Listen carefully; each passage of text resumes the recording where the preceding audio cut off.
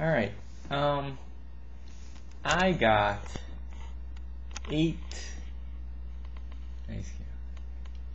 I got eight um, wines in my first pull. I really I, I can't fit anymore because I won't be able to get wire on the adjacent poles. So I got my eight. Now I'm going to go in a clockwise direction and I'm going to jump over 120 degrees to my next pole just like this. See? I've, I've, I've gone from here and I'm going to start winding here. So let me let me wind that and I'll uh, show you what it's starting to look like. Okay so I wound that. Now I'm going to move over to my last pole of the phase, which is right here. And uh, I'm going to wind it.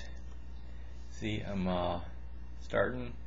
I'm going to wind this one right here eight times. And then when I'm done, that's going to be my end of the phase. So here was the here was the beginning, the first one.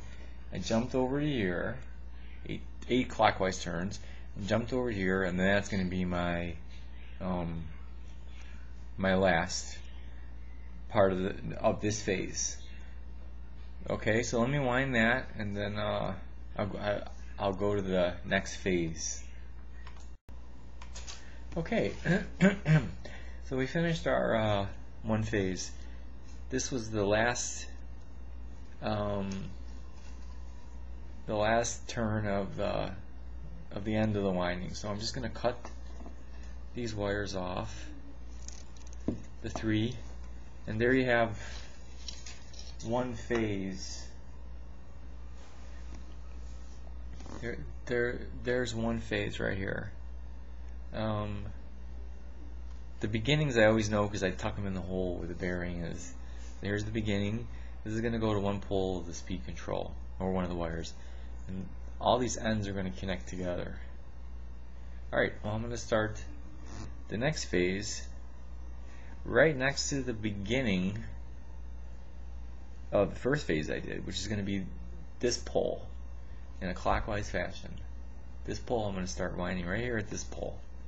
Alright, let me do that.